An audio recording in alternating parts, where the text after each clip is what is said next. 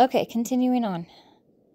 Strength in the flesh contrasted with God's power perfected in weakness. It's interesting that the genealogy of Adam begins to be recounted in Genesis 4, and this is recapitulated in Genesis 5. It's almost as if the vain speaking of Lamech, boasting of his strength, is in contrast to the calling upon the name of the, the name of God that begins with the third generation in the line of life, uh, Enos, which means weakness or mortality. Genesis 4 23 through 26. And Lamech said to his wives, Adah and Zillah, Hear my voice, you wives of Lamech, hearken to my speech. For I have slain a man to my wounding, and a young man to my hurt. If Cain shall be avenged sevenfold, truly Lamech seventy and sevenfold. And Adam knew his wife again, and she bare a son, and called his name Seth. For God said she, for uh, excuse me, and, and called his name Seth. For God, said she, has appointed me another seed instead of Abel, whom Cain slew. And to Seth, to him also there was born a son, and he called his name Enos. Then began men to call upon the name of the Lord. Now Adam knew his wife again. Now we're re- resorting back to Adam and we're going back to the beginning time wise. And she called his name Seth, for God, he said, has appointed me another seed instead of Abel, whom Cain slew. Now the line of life comes out of Seth, who is the second born. I see where this is going. And there's this principle all the way through the scriptures. We'll see it several times that the second born seems to usurp the place of the firstborn, and the firstborn gets offended at that too. Cain is offended, he was the first. Yeah, so yeah, he, okay. Cain was offended and he was the first. Ishmael was offended and he was the first. Esau was offended. Um, he should have he should have had the blessing. He came out first, and Jacob was holding his heel. So God has a way of preferring the last to be first, right? Satan was first, but then God created man.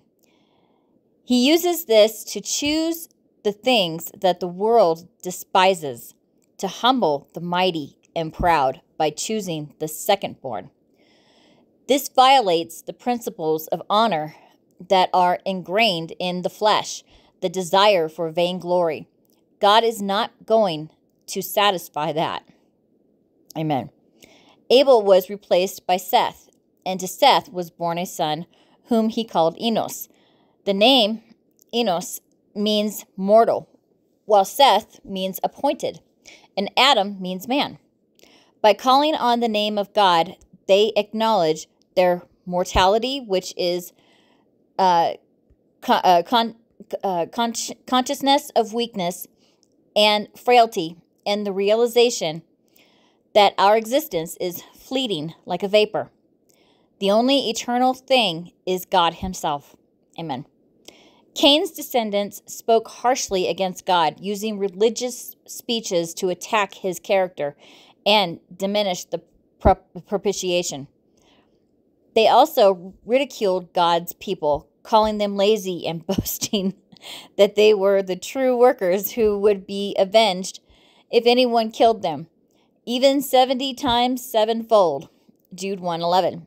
Perhaps Lamech even believed that God would support him in his vain and boastful speeches.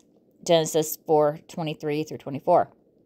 This behavior is similar to that of false prophets discussed by Jude and Peter in the end days who followed the way of Cain and are known for their uh, grandiose, uh, grandiose and vain speeches. Jude 1 16, 2 Peter 2 18. In contrast, the names in this line represent truth about their state. We don't see the bitterness and the zeal in the line of, of, of Genesis 5, which some call the line of life. They're not bitter, they just confess the reality of their estate. The first three names Adam, meaning man, Seth, meaning appointed, and Enos, meaning uh, mean mortal sorrow. State simply, man is appointed mortal sorrow. This is just the reality of the human condition. Mortal sorrow speaks of sorrow in a state of weakness and death. What is a man to do? They started calling on God. Hmm. Amen. It's beautiful. The first activity recorded related to Seth's line is calling on the name of the Lord, which is significant. When the early church called on Jesus, they were referred to as Jesus callers. Acts 9:14. Knowing God's name is special, and calling on it means you're asking him to embody whatever the name represents. He can be your salvation, your healer, Jehovah Rapha, your provider, Jehovah Jireh, and much more. Exodus 15:26 and Genesis 22:14, calling on one of his names, uh, excuse me, uh, acknowledges that he is the source of whatever the name represents, and it requires you to rely on him to fulfill that role. Psalm 27 and 8. Hmm, amen. This differs from the belief that one can construct a world system to provide for oneself like an orphan trying to survive on their own. In this age, true spirituality is characterized by a sense of weakness. We've discussed this concept on this channel before. We have a treasure in our earthen vessel, and our spirituality is glorious in the New Testament because an eternal weight of glory is being developed within us, which will be revealed in the next age. However, in this age, we're surrounded by weakness and we're in a state of weakness. God uses our weakness to encourage us to call on His name and prevent us from constructing something within ourselves. 2 Corinthians 4 7 through 18 and Romans 8 18 through 25. Amen.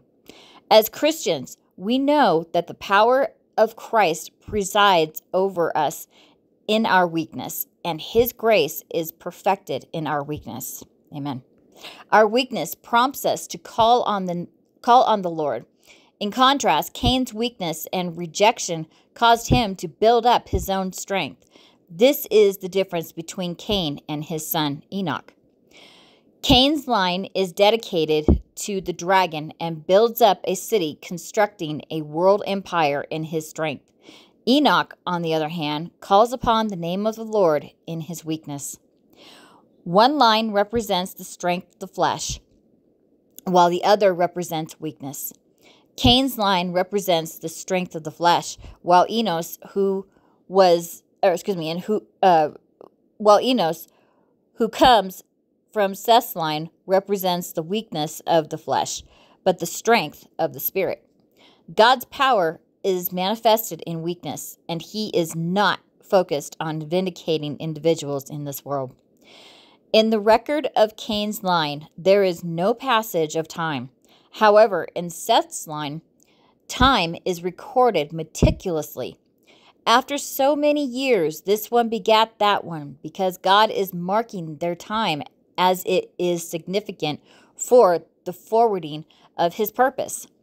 Even though Cain's line may seem more glorious, they will perish. This is true of the religious Cain as well.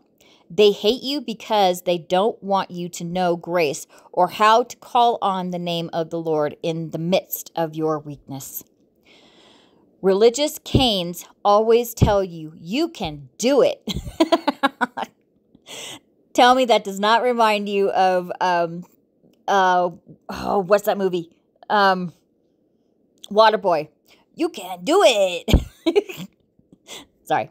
Um, and you can do it and want you to rely on the flesh. Their purpose is to put a stumbling block in front of you. Amen. They don't understand the language of weakness. When we say, I'm weak, but I call on the name of Jesus and he becomes my strength, they say, You're just carnal and in and un, and in unbelief. How ironic. Um, you don't believe that God said you can do it, why would you or why would he give you the law if he didn't think you could keep it? Oh my gosh, I remember that one too. Ugh, some of these sayings are just so pathetic if you really think about it when you put it against the word of God. It's like, really? anyway, moving on. Maybe we're not under the law of Moses, but we're under the commands of Jesus. We can keep those. They give lip service. It's by the Holy Spirit's help. But anyone who doesn't understand this principle that Christ has to be everything is not on the way of life. Amen. They are in the way of Cain, and it'll show up in their religious service. Doesn't mean they're not saved. It just means they're not clear and they're doing a lot of damage while they're not clear. What they're building is wood, hay, and stubble, and it's going to be burned. Amen. And just so you know, I wasn't saying that they weren't saved either. I was saying that, you know, we can all get in unbelief sometimes because um, we're relying on ourselves rather than uh, Christ Himself as our life giving spirit. So therefore, we're in unbelief. And we cannot please God if we are not in faith. You know, uh, what is what's that verse that talks about uh, without faith it's impossible to please God? So yeah, it's a, it's a form of unbelief. If you're trying to do it in your own strength and everything, you're thinking that God can't help you and that uh, you have to do it all. So you're in 100% unbelief, not from salvation, but from allowing God to work in your life. Okay, moving on. Seth's line may build, but what they construct is unlikely to earn anything other than mockery from the world 1 Corinthians 3 12 through 15. The, the accumulation of the line of life is the building of the ark, a representation of Christ and the church. Genesis 6 14 16, and 1 Peter 2 4 through 6. Today, building the church happens in weakness by those who call upon the name of the Lord in their weakness, and He becomes their building material. 2 Corinthians 4 7 through 18. To build with gold, silver, and precious stones means recognizing that we are weak in the flesh and calling on the name of the Lord in truth. 1 Corinthians 3, um, 3 12 through 15. We cry out to him in desperation, and he answers the call, building something within us. 2 Corinthians 4 7 through 18. Christ begins to make his home in our hearts, and we start to become solid but in a different way. We do not become solid in ourselves or grow in self confidence. Instead, we grow in confidence in Christ with a full assurance of faith and a perfected, uh, a perfected conscience.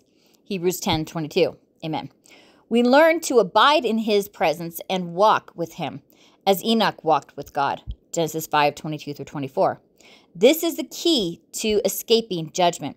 Calling on the name of the Lord believing in the blood, trusting in his promise of the seed, and walking with God in a state of awareness of our weakness, but confidence in his strength. Hebrews 11 7. This is what ultimately builds the ark. Genesis 6 14 through 16. 1 Peter 2 4 through 6. Amen.